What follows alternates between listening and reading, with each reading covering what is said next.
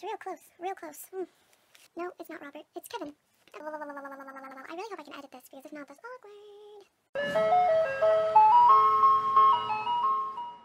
guys, it's Jay and I'm here with my December wrap up. If the quality of this video is really weird, it's because I'm filming on my phone because I'm not the smartest girl and I left my SD card at school. So this is what we're to have to work with. I'm super sorry, but it's happening because it's December 31st and I need to film this video.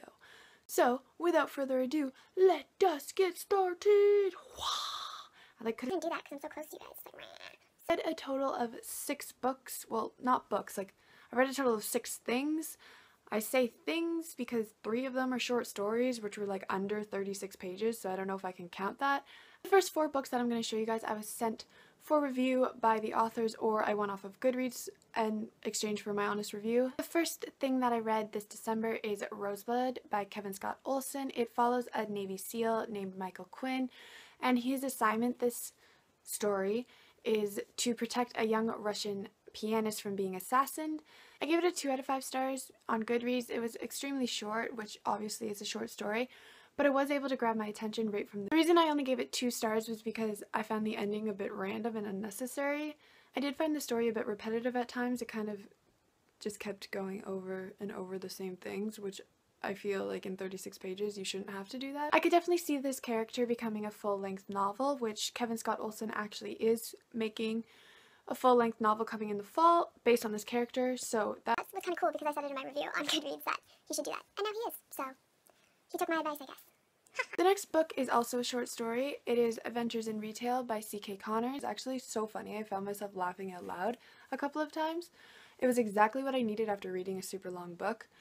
It's a collection of short stories that the author put together based on his coworkers that he worked with during his dietary supplement career. I gave it a 3 out of 5 stars on Goodreads. I would definitely recommend it if you're looking for something lighthearted and cute. It's only 36 pages, so it's super fast read, but it was really cute and it made me laugh out loud a couple of times, so why not? The next thing that I read is also a short story, and it is also by C.K. Connors, and it is Table 9. This short story follows a nameless man who, at the beginning of the story, is in jail, and we don't know why.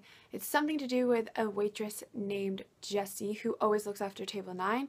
Although the story is really short, it's again only 36 pages, it caught my attention right from the beginning, which I think is incredible for such a short story. I could not put it down. I read it in one sitting, which is not that hard because it's only 36 pages, but I really enjoyed it. I gave it a 3 out of 5 stars on Goodreads. I really enjoyed how the writing was laid out. It had parts from the man's past where he first met Jesse and all that jazz, but then it also transitioned all the way through his life and into the present when he was in jail. So it was kind of cool to see how it flipped back and forth. It worked really well for this story. I think all the characters were really developed, which is super hard for such a short story, but I didn't feel like any of them were just kind of thrown in there at random just because he needed a character. They all kind of worked really well together and it made the story even more enjoyable. I think CK's writing is so beautiful and so emotional and it was so good.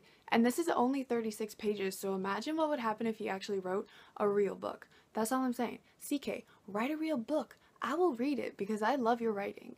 The next book that I read is Ella's Love by Jasmine Lee. I gave this a 1 out of 5 stars on Goodreads. I did not like it.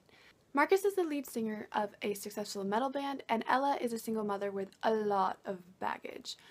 They meet by chance three times, and then they finally decide on their third meeting that they are going to make this relationship work because, you know, they've met three times, so clearly it's fate. The story unfolds, Marcus has to decide if he's willing to sacrifice a lot of things to be with Ella, and Ella has to decide if she's okay with loving this man and opening herself up to be hurt yet again. The insta love in this book is so cringeworthy, it hurts. It drove me insane. Literally a week after they met, they're already like, oh my god, I love you so much. You're the best thing that's ever happened to me. I feel like we've been together forever. Like, no. I hate insta love. You probably all know this by now. It drives me crazy. I found the dialogue in this book to be so annoying. I could not deal with it. It drove me insane. I hated it. I honestly found myself rolling my eyes at this book more than I was actually reading it. It was really quick read. I read it in a couple of hours, just because I wanted to get it over with. The next book that I read was The Merciless by Danielle Vega. I absolutely love this book. I gave it a 4 out of 5 stars. I believe I kind of want to give it a 5, but I don't know. I don't know. I'm going to have a review up of it super soon in a couple of days probably, so I will link that down below if you guys are interested. Check that out. But it's one of my favorite books of 2015 now. I absolutely loved it. And finally, I read a book called Daddy by PJ Ferguson. I absolutely loved this book. I gave it a 5 out of 5 stars. It was so good, guys. It starts off really slow, but then as soon as the main thing happens, that kind of gets the ball rolling, and it is so entertaining. I could not put it down. Daddy follows a man named Joe Williams who lives a pretty mundane life with his twin boys, Sean Mikey, and his wife, Maddie, until a tragedy strikes the family, and it is up to 12 jury members to make the right decision to help the family move on from this tragedy.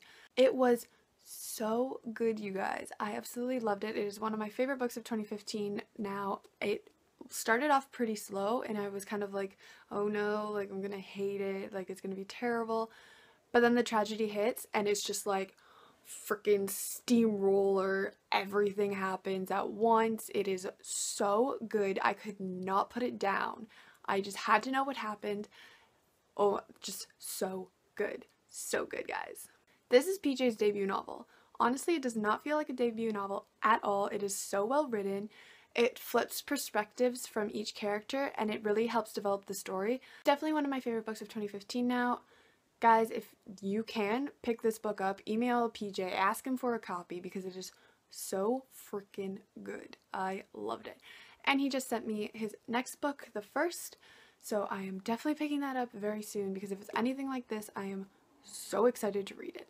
Alright guys, so that was my December wrap up. I will see you in my next video. Happy New Year to everybody, and goodbye! Famous man. I was gonna say named, but he's not named. why can't I speak English?